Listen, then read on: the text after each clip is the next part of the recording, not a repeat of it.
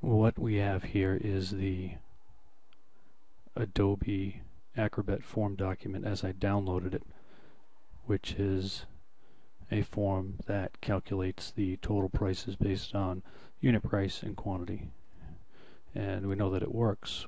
We just need to find out where the formulas are coming from for the price and for the total. And you'll see that it calculates it, but from here we don't see where that's coming from. To change that, we'll go to View, Tools, Forms, then click Edit to edit the form, and all the hidden fields will come up.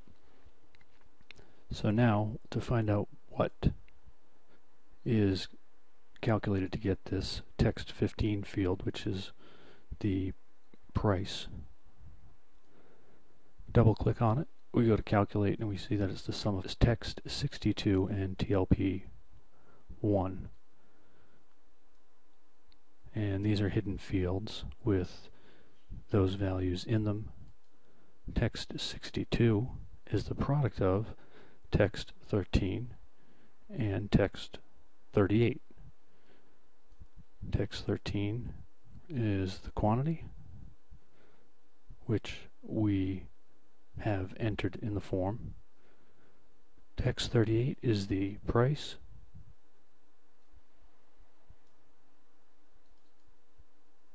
And TLP1 is text 14, which is the $1 sample package, and SP1D1, which is the $1 per package.